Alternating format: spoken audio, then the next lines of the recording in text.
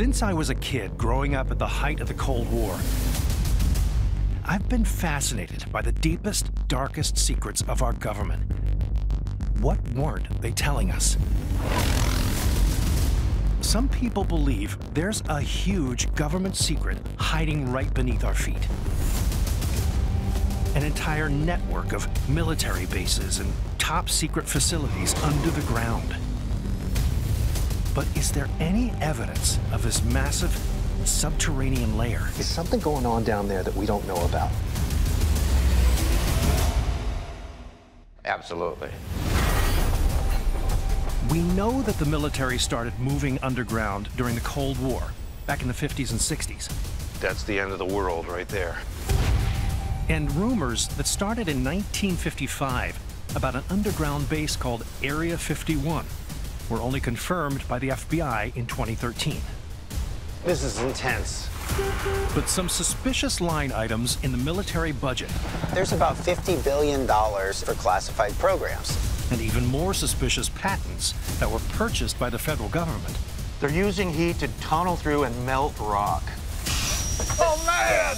This is science fiction to me.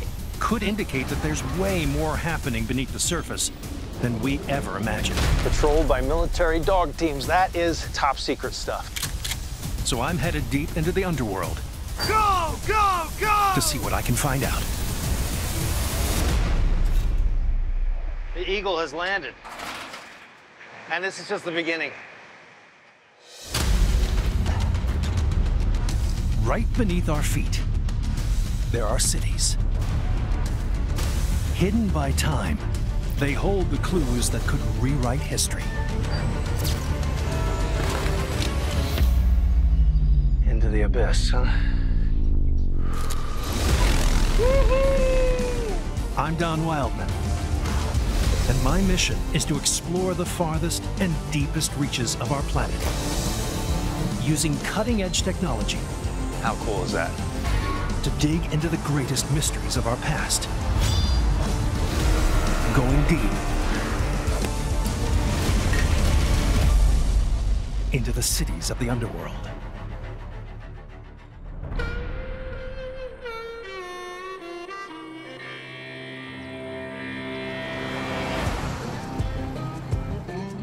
I used to go to grade school, and just like fire drills, we would do duck and cover drills, which were for nuclear attack, which was ridiculous when you consider the fact that no way is anybody surviving this thing, much less eight-year-olds with their jackets over their heads in the basement. But those are the kinds of things that were part of life in the 50s and the 60s. The imminence of nuclear holocaust is much less a daily thought on the average American's mind today than it was when I was young. The Cold War is long over, but some declassified relics from that era may show that the nuclear threat from Russia was just the beginning of a secret underground that only top level officials in the government know about. Usually, when I go into the underworld, I'm rappelling into murky caves or squeezing through tight crevices in some ancient ruin. But this is going to be different. An underground world built in secrecy with high level military technology. And I couldn't be more excited. My first stop is in the Arizona desert at one of the many decommissioned Titan II missile sites that exist across the country.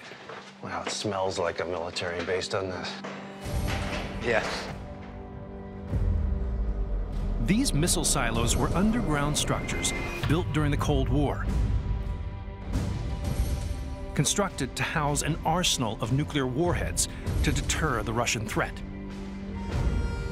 And it was all done in total secrecy. Wow. This is intense. How far underground are we at this point? We're 35 feet. Wow. You worked in the silo. Yes, during the height of the Cold War. What was that like? What did that feel like? It was boring and scary at the same time. Kind of had the weight of the world on your shoulders. You were aware of that feeling. Absolutely. Interesting. David Haratunian was a Titan II ballistic missile analyst during the Cold War. His job was to wait for this phone to ring, and if it did, he'd put this key into this switch and launch a nuclear attack. And if it happened, it would have all taken less than 60 seconds. How crazy is that? So your day of work was to make sure that this thing was up and ready to go. State of readiness, 24 Okay. hours a day. You thought you could launch at any moment. But the thing that was most upsetting about it was if we had the launch order, we knew an attack was coming, and we knew that all our loved ones would die. Hmm. The Titan II was built in 1961 when a telephone looked like this, a television looked like this, and a baby's car seat looked something like this. And yet, this secret underground facility had some insanely cool technology. So this is the long cableway. That's amazing. This thing is built to be like a slinky, so it can move up and down, side to side. We had to be protected from the shock wave. It's Yeah. going to be like the world's worst earthquake if a nuclear detonation went off up Right, there. right. And it's a cableway because it's all the cables coming from the control center to the missile. The cableway is a massive version of the shocks in your car, designed to protect this entire underground base from any nuclear explosions above. So you're down there 200 and some feet away from the rocket, which is up here. This is the silo, and this is the launch tube, and the missile sits in the launch tubes, protected by that extremely heavy door. Man, that's hard. Door push. Oh my lord. Look at that. That's crazy. Incredible. Wow. There you go. So give me some read on what I'm looking at here. It's 103 feet tall. It weighs 330,000 pounds fully loaded. Mm-hmm. It has 430,000 pounds of thrust, which is equivalent to two 747s at full throttle. Wow. How fast does it take for this to get to its target in the Soviet? About 30 minutes. Going to go about 17,000 miles an hour. Wow. To put into perspective how ridiculously fast this Titan missile was, the commercial airplanes we fly in today, they go around 570 miles per hour top speed. So this nuclear missile flies about 30 times faster. And what is the actual bomb? It's a 9 megaton bomb, which is equivalent to 9 million tons of TNT. How does that compare to Hiroshima? It's 600 times more powerful than Hiroshima. Unbelievable. And how many facilities with this nuclear missile were ready to go on a single phone call? 54. That's crazy. Absolutely. So in the case of nuclear attack, 54 Titan II missiles all lift off basically at the same time. only totally retaliatory, not a first strike weapon. If the Soviet Union launched against us, this was the deterrent, mutually assured destruction. The 54 Titans were going to wipe out 54 of their cities or military bases. or- Yeah. That's where it just enters into a whole nother realm. I mean, it's, it's just hard to conceive of that much destruction. And today, even more so. Today, more so, there's more of them, and they're more accurate. Wow. So we're at the top of the, of the missile. How far down is the bottom? The bottom's 146 feet down.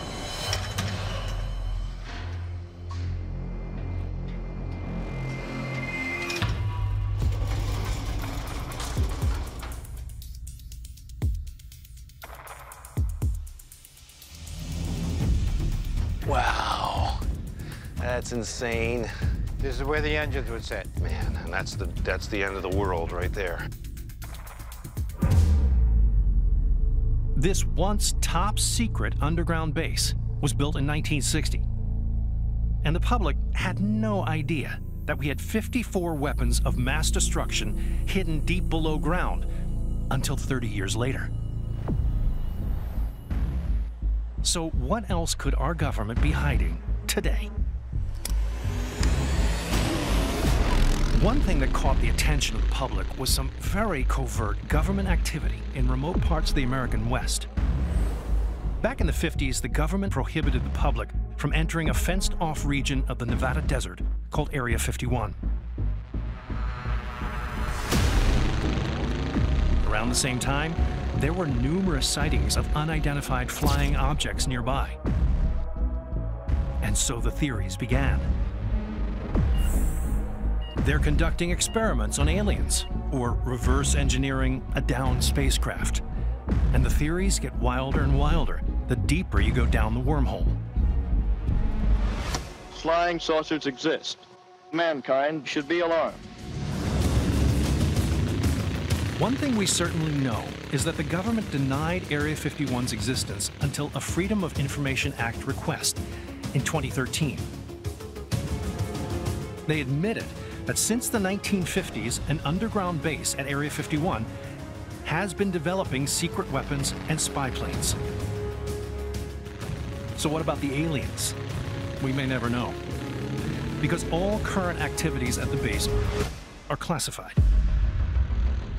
and the government seems to be remarkably good at keeping secrets.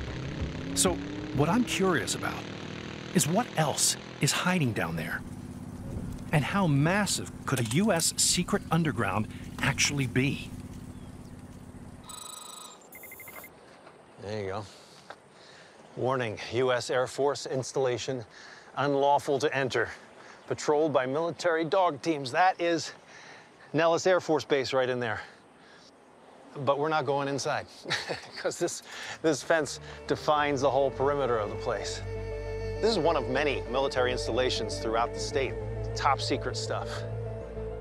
Just a quick dune buggy trip outside of Las Vegas takes us to this location, which may be the origin of our government's fascination with secret underground operations. In the early 50s, this is where some of the first nuclear weapons were developed and tested. Back in Vegas, the mushroom clouds were so visible that a new phenomenon known as atomic tourism exploded on the strip. Restaurants and bars would organize happy hour watching parties. So the tourists were having a blast. But eventually, the nuclear explosions were also enjoyed by enemy satellites and the U.S. feared that Russia was collecting valuable intel about our nuclear capabilities. So the military took the entire operation underground, performing nuclear tests below. This site is still operational, but you'd never know it from above ground, and only a classified few know the true scope of the operations. But locals have reported military vehicles disappearing into the earth. And there's rumors of a network of hidden labs and tunnels stretching for miles in every direction. There you go. You got military here, and you've got this theory that the underground is more than meets the eye. We can't go in here, and we can't know, quite possibly, what's under there until we go looking for it. I'm wondering if there's any modern technology that might show whether this secret military underworld could actually exist.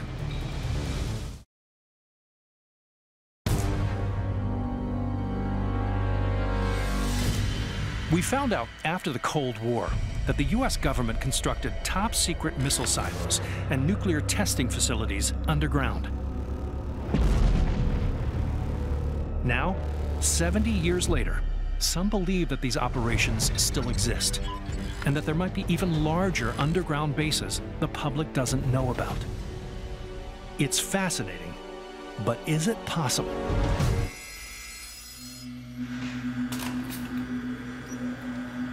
To learn more about how one of these underground bases could actually be constructed, I've come to Fort Wayne, Indiana, to explore the underworld with Lance Waddell, chief engineer of the Three Rivers Tunnel Project to get an idea of how these underground bases could be made. The Eagle has landed. Is it even possible to do a gigantic engineering project underground in total secrecy? You don't really get the perspective until you're down here.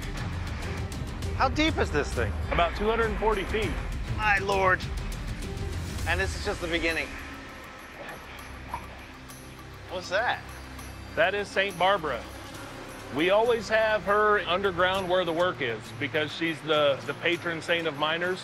How worried are you about things going wrong? You get used to it after a while. well, look at you. I, you can deal with it. Hear that rumbling sound? That's the locomotive coming out. That's our ride. I didn't buy a ticket, but okay. Good, Martine.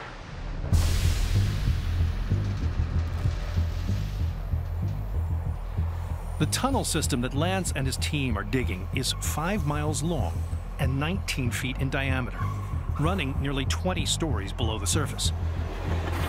When it's done, 850 billion gallons of sewage overflow will run through it every year, instead of into one of the three rivers above. While this isn't a secret government tunnel, I'd like to find out how they're building this public project to see if you could even dig a tunnel system like this without anyone above ground knowing about it. So, we're heading straight into the belly of the beast.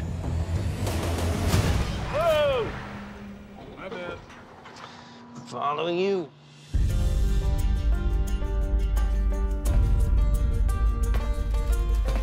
Everything we're seeing is the machine itself.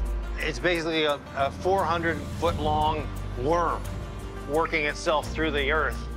And as it goes, it's building its own tunnel behind it. I'm actually inside the TBM, the tunnel boring machine that's used to dig this kind of massive tunnel. This thing is longer than a football field, and the machine actually constructs the tunnel as it moves through the earth. This is a probe drill. So the machine cuts a 19 foot diameter hole. Okay. There's seven of these motors, and when they're all pushing, driving that machine, Yep. it's up to 8.4 million pounds of force. Wow. So, what happens to the rock it carves away? As the rock is cut up, it falls into the bottom of the excavation chamber, and it's mixed with water slurry mix, and it's pumped all the way to the surface, then hauled out. Tons and tons of debris. About 35 tons an hour. Really? The huge cutting face is obviously an effective tool when it comes to digging a tunnel. But 35 tons of debris an hour being shot back up to the surface would make it impossible to dig a network like this in secret. To get rid of all that debris, you'd need an endless parade of dump trucks hauling the rubble away. Between that and the expansive worksite itself, enemies could easily monitor a tunnel project from spy satellites. So, looking into this theory that the US government and military have a top secret network of underground bases, they need to create a very different technology, one that doesn't produce a mountain of debris on the surface. As far as I know, there's no drill that can make rock and dirt evaporate into thin air. Or is there? Method and apparatus for tunneling by melting.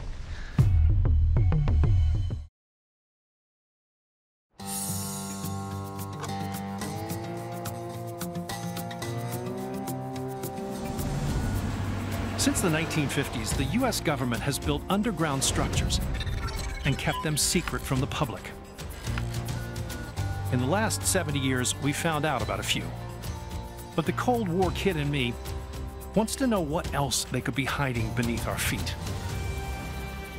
We've seen that the method of tunneling used for public projects would be impossible to keep secret. So I'm meeting up with David Childress, an author and researcher, who spent decades looking into the deepest, darkest secrets of the US government. David says he may have the smoking gun that shows how the secret underworld is being built. All around the Nellis Air Force Base and Area 51 is a vast network of tunnels. And many of these tunnels are in the base, but some of these tunnels and entrances go outside the base. Since the 1950s, the locals in that area have reported seeing convoys of, of military vehicles driving down the road and then just suddenly disappearing. Hmm. On one hand, it doesn't surprise me. It's a military base. It's very secretive. And, and it's huge, too. right. What I want to know is, could someone create a massive underground base without anybody knowing about it? They do have the technology. This is a 1972 patent from DARPA. United States patent, September 26, 1972. Method and apparatus for tunneling by melting. Melting. So they're using heat to, to actually tunnel. They're using heat to, to tunnel through and melt rock. In a normal tunneling device, you would have a lot of rubble coming out the back. Yeah, yeah. And you would need tons of trucks and things like that to haul all this rubble out. Of course, yeah. But with the thermonuclear tunneling device, you don't need that. It's very clean. Uh, it doesn't create a lot of waste and rubble. It sounds science fiction to me. I mean, it's, this is sci-fi stuff. So each mile of the tunnel, 20 feet in diameter, creates enough rubble to fill 18 Olympic-sized swimming pools. But according to this patent, which was purchased by the US government, huge tunnels can be dug deep underground with zero debris. Here's how it works. The nuclear reactor inside heats the drill tip to over 2,000 degrees Fahrenheit. Six hydraulic cylinders with 18 million pounds of thrust push the drill through the earth, turning all of the rock into glass that lines the walls of the tunnel. This is absolutely mind-boggling. If it actually exists. What you're suggesting, thanks to this technology, is that if there's a vastness to this that we're not aware of, not to mention a depth, and that it's totally secret because there was no evidence of this being done. That's right. It's a vast network that runs throughout the entire U.S., from the East Coast all the way to California. What would be the purpose of this? You have a network of underground bases, and then there are tunnels that are connecting them, starting in Washington, D.C. No kidding. Yeah. Even if Washington, D.C. is a radioactive wasteland, these guys can still be in charge and in touch with various parts of the military mm-hmm. from these underground bases. I mean, I still don't know if it truly works, but here it is in a United States patent. It's crazy. In theory, this drill could create a massive network of subterranean tunnels and bases in total secrecy. But that's in theory. Could it actually work? I've reached out to the smartest man I know, world-renowned geologist Eric Drummond. You got it all going on here. Yeah. Um, we got a rock here, brought in from the field, got a drill here, and uh, we'll do some drilling. I sent Eric the nuclear drill patent, and he designed an experiment to see if it could possibly work. So we're going to compare basically old drilling versus new drilling. Yes. All right, let's get down to it. First, we'll replicate traditional hard rock drilling, like the kind we saw back at Three Rivers, using an extremely scaled down drill bit and a scaled down chunk of rock. I got a Charlie horse.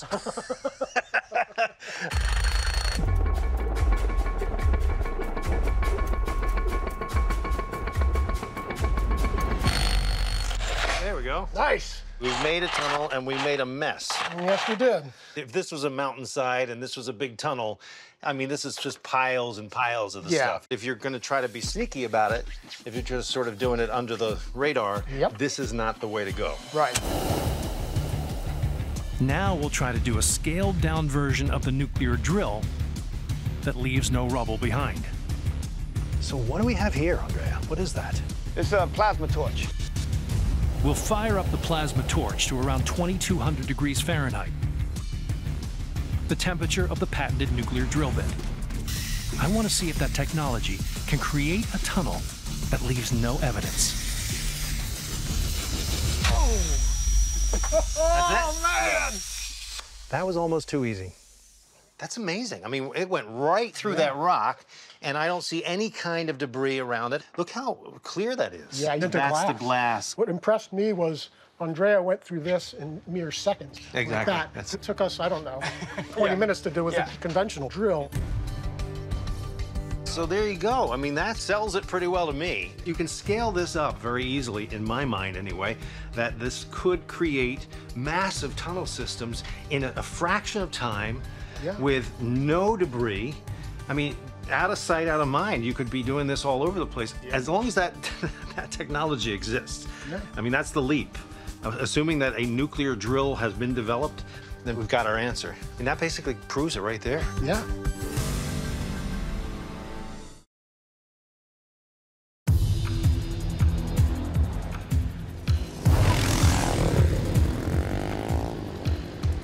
It's no secret that the U.S. government has underground facilities they built during the Cold War.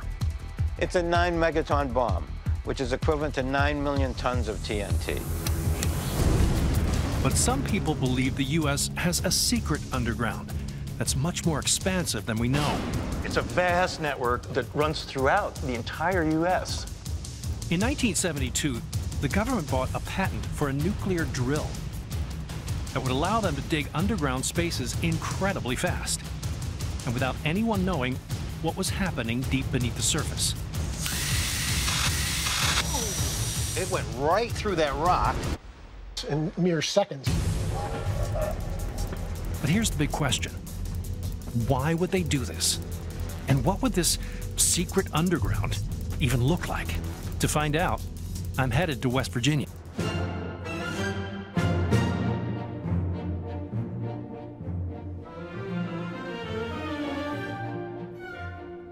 Hi, Don. How are you today? This place is amazing. Incredible. Yeah. It dazzles the eyes. That's right. That's right. Welcome to the Greenbrier, a five star luxury resort in White Sulphur Springs. It's still grand, but back in the day, this was one of the premier places. Oh, yeah. Oh, yeah. This hotel was a hotspot for celebrity weddings and high society types. But for years, it had a big secret hiding beneath its shiny exterior.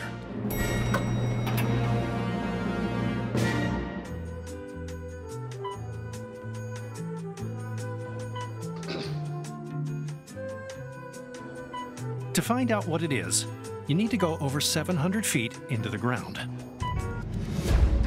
The Greenbrier was built in 1913, but in 1948, the resort entered into an agreement with the United States government and a new construction began. The hotel would add another wing, complete with new rooms and an exhibition hall. But meanwhile, underneath, the government would covertly construct a secret fallout shelter for high ranking government officials that no one in the public would know about until over 30 years later, when in 1992, a journalist exposed the secret. This humongous two story bunker is the length of two football fields, extending 718 feet deep into the West Virginia countryside. You come out, what just looks like regular part of the hotel. Sure. But then it turns out There you go. Now this looks like a nuclear bunker. so this is the door that protects it all, huh? Yeah, 25 tons of uh, steel and concrete. That's impressive. So this is the Cold War, let's say the Cuban Missile Crisis happens. Huge emergency event. And they would show up at this place. Right. And they're stashed in here for an indefinite period of time. And at that point, they're sealed shut. Oh, yeah. Well, this would be a very, very bad day.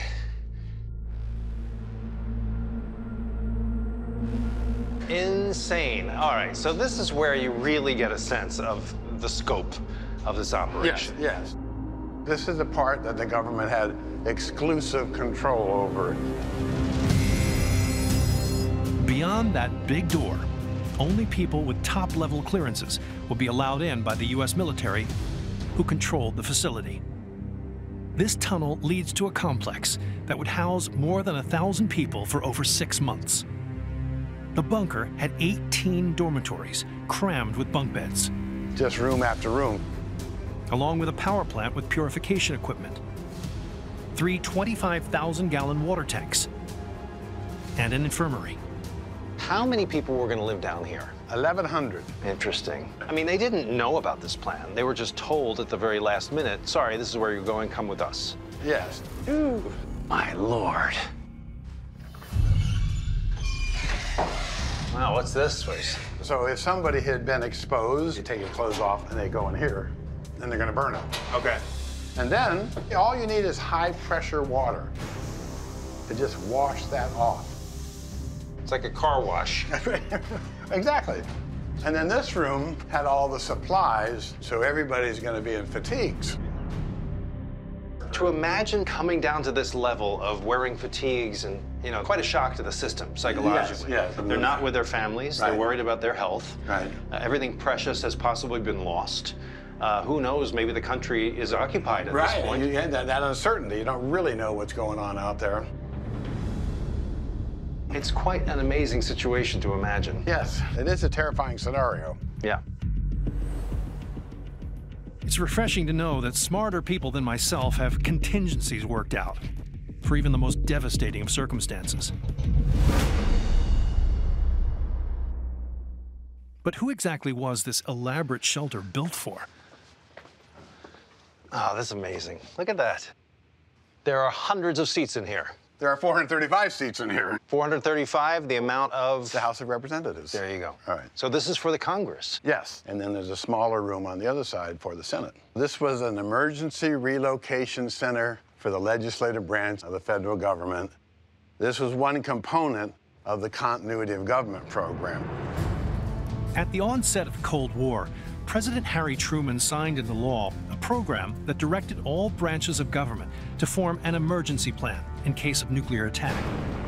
He ordered each branch to prepare a secure location that would permit the continued operation of government in a time of crisis. So the separation of powers is behind this whole thing. Even Right. in the face of nuclear disaster, the U.S. government still has to be maintained as the structure that's in the Constitution. Exactly. So the story of this place is really hiding in plain sight in, a, in the biggest sense of the word. For sure. And right under everyone's nose, this bunker remained a total secret for over 30 years, until 1992, when at the end of the Cold War it was decommissioned and declassified. But it's a glimpse into how these underground facilities are designed, and the government's anticipation of their need, emergency or otherwise. And given the revolutionary advancements of science and engineering over the last 70 years, maybe even with nuclear powered drilling technology, what would the secret nuclear facilities of today look like? How advanced? And how much more massive could they be?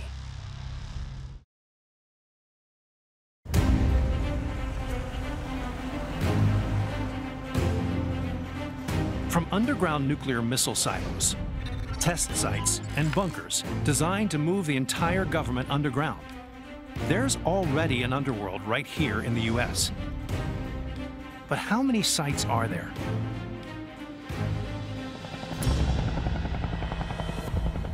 To find out, I'm meeting up with Todd Harrison, who analyzes the defense budget every year.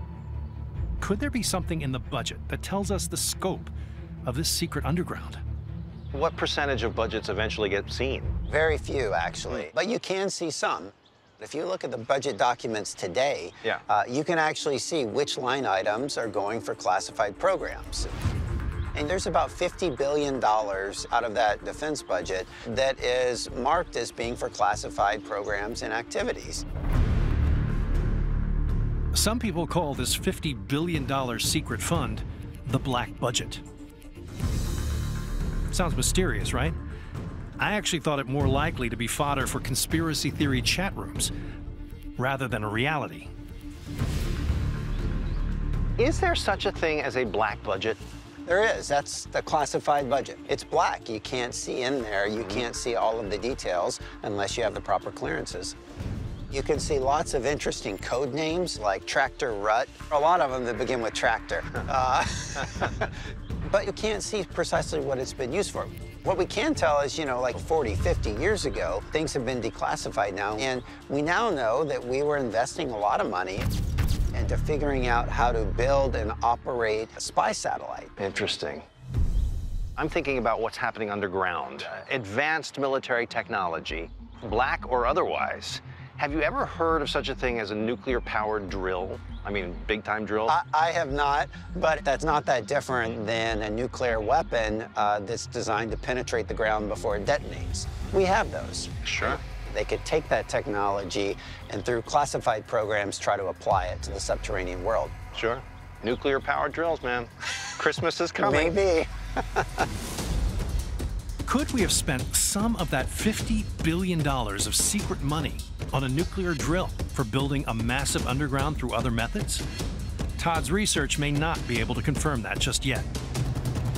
But we are learning that as more and more intel is declassified, it's clear that virtually all black budget spending is for weapons and defense. And while we know that a lot of the military brass in the 1950s had their eyes to the sky, Paul Scharre, VP and Director of Studies at the Center for a New American Security, believes the battlegrounds of today are in the underworld. How much is tunneling a part of the new strategy here on the home front? The U.S. built underground command and control complexes to survive a nuclear war with the Soviet Union, but the Army's been reinvigorating that for urban warfare. We certainly saw ISIS and Al Qaeda in Iraq go underground. The Army is preparing for more urban conflicts, and that's going to be something the military is going to have to be prepared for against major threats like North Korea or Iran that have the ability to build big tunnel complexes under these very large cities, very, very difficult terrain to fight in. Paul says that North Korea alone has at least 4,800 underground military bases. And geographically, the United States is almost 100 times larger. So it makes sense that the U.S. would have hundreds, if not thousands, more underground facilities besides the ones we know about. The tunnels, the undergrounds, have always given a fighting force a, a massive advantage. It's only going to get larger now that it's easier to, to build these things on a much bigger scale. So we've got to be ready. That's right. There's no question that underground is going to be part of warfare in the future. And certainly the U.S. Army has been investing heavily in finding ways to prepare for that.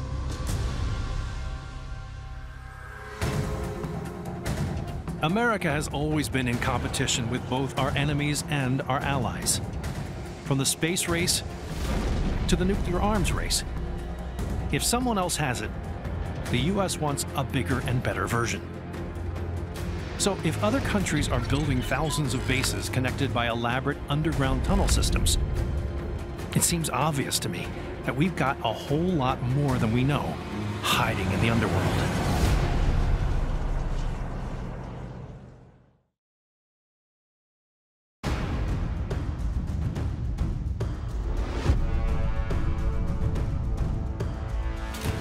What started as a look into something that seemed like a conspiracy theory. A network of underground bases and tunnels that are connecting them, starting in Washington, D.C. Led me to learn that the U.S. government has been building underground military facilities since the 1950s. And we're not the only ones. We certainly saw ISIS and Al Qaeda in Iraq go underground. Russia and North Korea have thousands of underground military bases, and it seems likely that we do too, right under our feet.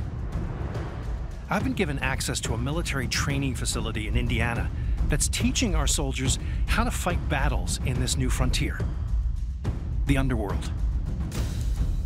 Combat below ground brings a whole new set of challenges, requiring a whole new set of technologies. I'm psyched to see how important fighting underground has become to our modern military.